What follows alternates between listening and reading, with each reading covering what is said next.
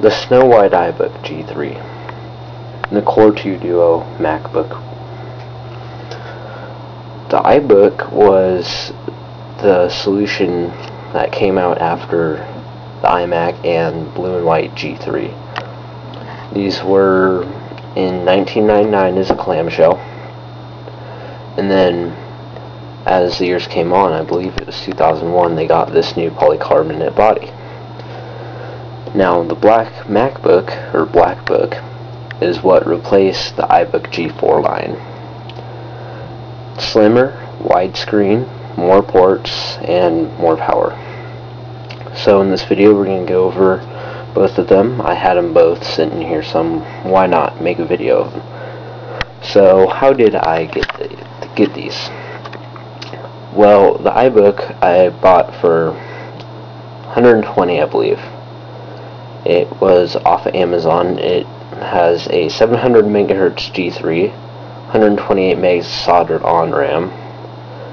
It had a CD drive, which you're gonna have to take out and put on again, unfortunately. And a 20 gig hard drive. I have Panther 10.3.9 running on it, and the trackpad burnt out on it what I did was something shorted out on the motherboard right where the little connector is. So I have to use a good old USB mouse. But now for the MacBook. I had a Toshiba laptop I bought from a friend needed a hard drive. Then one day I traded it. This was a few weeks ago with another kid at school. He wanted a Windows PC so he got Windows PC Toshiba had a 2 gigahertz AMD Turion uh, of course 64-bit. It had also 2 gigs of RAM, along with a 15.6 inch screen, some ATI Radeon graphics, DVD burner, and that was about it. So I traded for this MacBook. It has a 2.2 gigahertz Core 2 Duo, um, of course a 13 inch backlit display the super drive which is on the side. It, when I got it it had a gig of RAM and I have 2.5 gigs right now. And the reason I can bump it up to 4 because I, I was going to put 4 but you need to have one PCI stick of or not PCI, RAM stick of DDR2 PC 5400 that's what it originally came with then I have 6400 RAM laying around but you must have a 5400 module with it. 5254 one of those two. Um, 64 gig solid state drive. When I got this it didn't have a hard drive. I took the solid state drive out of my gateway laptop. That was my main laptop up until I got this. And this has Intel GMA graphics and this was the late 2007 model which got quite a few revisions for this model. Of course it's black. See the Apple logo on that one? Fine. It's kind of hard to see it on the white one until it's actually lit up. So let's get started. We can start out with the side comparisons here. The screen, the top of the screen for the iBook is right at the top of the MacBook.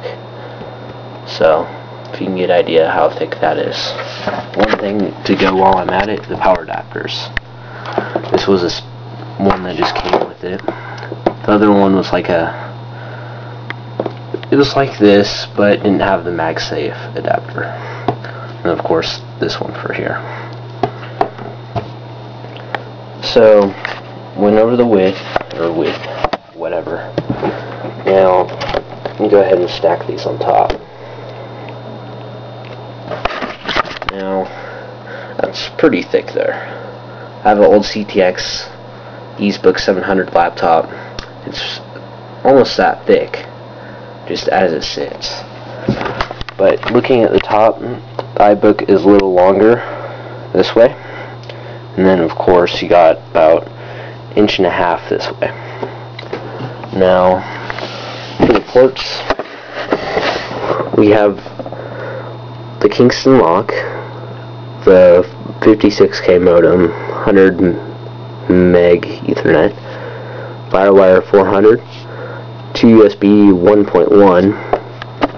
We have our mini display port, or mini VGA, one of those, and our headphone port.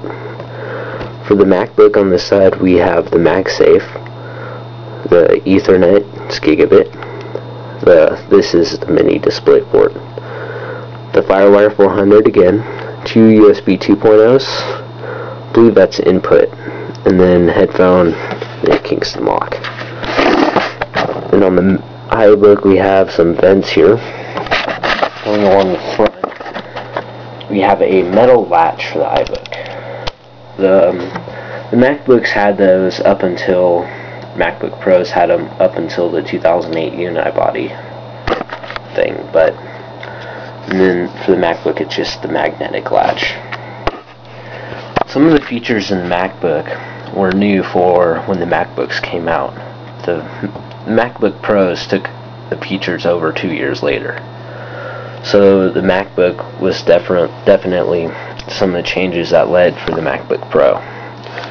Now on this side, we have our power adapter for the iBook and of course our disk drive with the tray and the little plastic piece is missing because I had to replace the drive but I'm going to put the original CD drive back in here at some point and then you can barely see it but there's a super drive.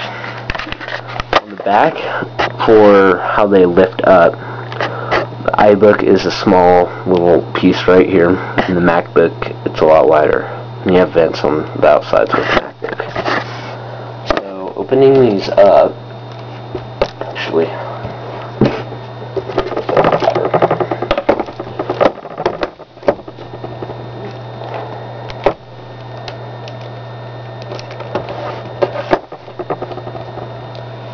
light. There we go. Even better. Of course, one's white, one's black. You have these little or little rubber kind of feet here. This one was off the gateway because it's missing the other, so it works for now.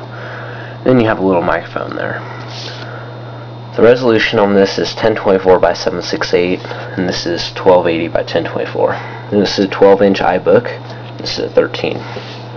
So, diagonal, longer.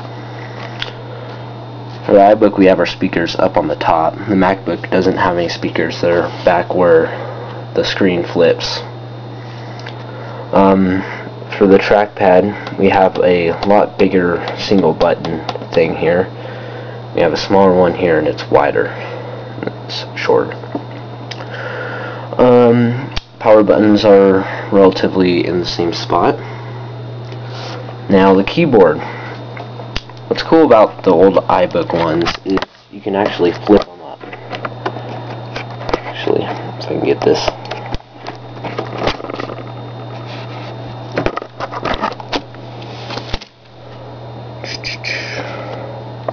Had the little serial key there.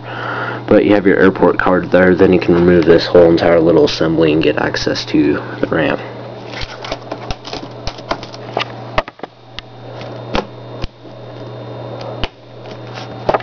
Got a little screw there. I don't know what that's from.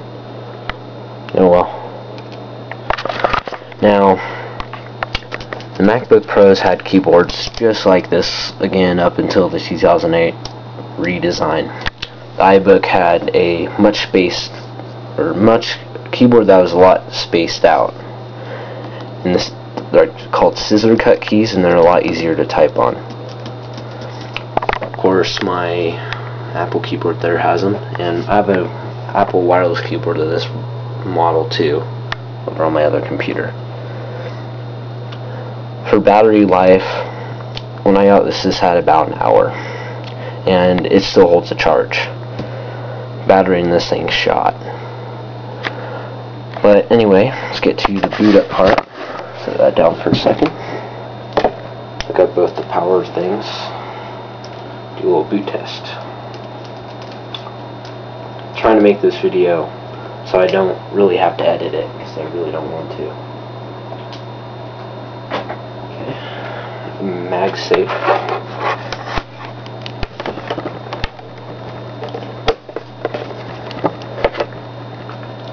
And mouse for the iBook.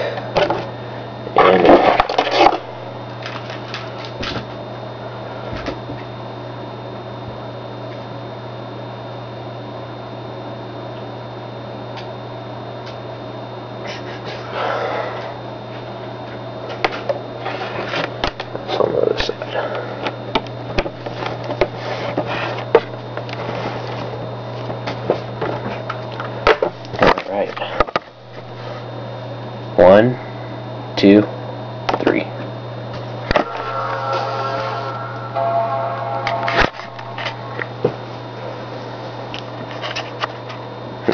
Desktop again.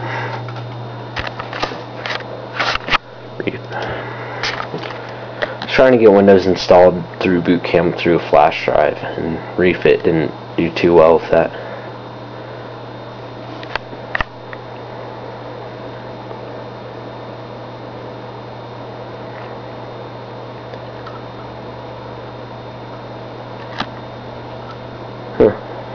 Is interesting. Before the screen on the iBook even turned on, it got to the login screen. I think the iBook will get to the desktop. But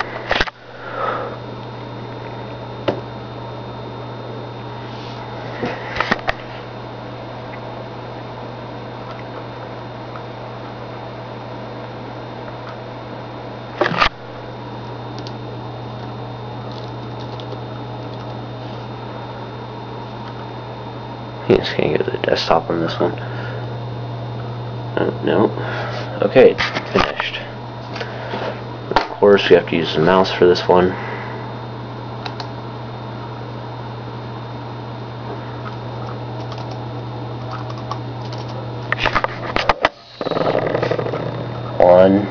two. There we go.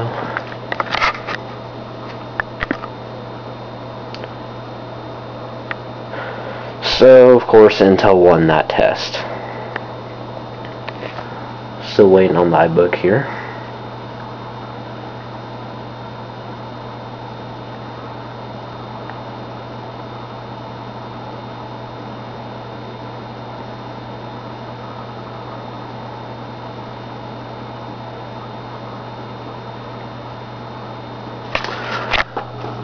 Oh, didn't know the first first time I've got that message. Well, let's go to about this Mac. Do that same one here. So, of course, we have 10.3.9, 700 megahertz G3, 128 megs built in. So, on this side we have 10.7.4 course Lion, 2.2 gigahertz Core 2 Duo, 2.5 gigs of 206 or sorry, 667 megahertz DDR2, and of course Macintosh HD is the startup disk. Macintosh and Macintosh. I'm just doing a quick little overview of the dock. We have Finder, Safari, which I found out once you disable JavaScript, this thing flies on the internet. Have Microsoft and Entourage, I believe. It's the Outlook for Mac. Messenger, Skype, address book. I think that's what it is. Yeah, address book. iTunes, iPhoto, Photoshop CS2, iMovie, Word, Remote Desktop, QuickTime, Preferences, Application Folder, and of course Recycle. Now going on here we have quite a long list. We have Finder, I'll go ahead and do the zoom thing here. Launchpad, which is pretty cool. It's like the um, kind of the iPad interface and you can use two fingers to swipe. So, kind of cool. We have Mission Control, App Store, which is really cool. Dashboard, which was something they didn't incorporate till Tiger, which was after this. Mail, Chrome, Safari, because some things won't load up in Chrome, but they will in Safari. Safari, uTorrent, FileZilla, Sophos, Remote Desktop, TeamViewer, FaceTime, address book. And while I'm at it, this has a FaceTime camera. All this is that latch. Keynote, which is very cool. Pages, numbers, iCal, which another thing I like about this is it has a date down there. Preview, which I really don't use. iTunes, Photoshop CS6, Photo Booth, iPhoto, Final Cut Pro, iMovie, GarageBand, VirtualBox, CCleaner, NTFS mounter so I can edit and of course do stuff with NTFS drives time machines, some preferences, applications, documents, downloads, recycle bin. bin. Now, one thing that's a bummer about Panther is no support for WPA2, or also known as TKIP. I can't get it to work on here. It works fine on here. That's pretty much the overview for both these Macs.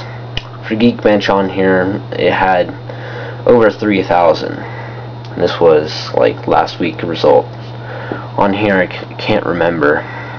It was somewhere, it was definitely higher than 300 because my Power Mac G3 blue and white down there, which I don't know if you can see it at all, got like 200 and something.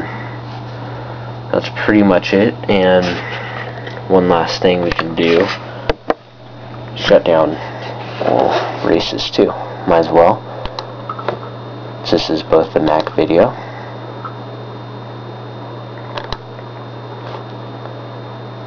shut down and of course shut down. Then one two three.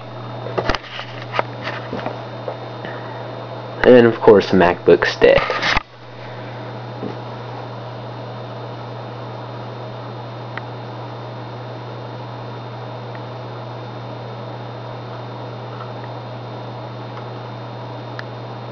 And then the iBook's done as well. That was the video comparison, just kind of overview of the two Apple computers, MacBook that evolved from that, and what makes them different. That's pretty much it. I only made this video because it's quick and I had everything right in my hands whereas if I was going to do something for my desktop I would of course take it and put it up on the desk and take off the cover and everything which I'll have to do at some point so I'll talk to you guys later. Hope you enjoyed this video and look for more videos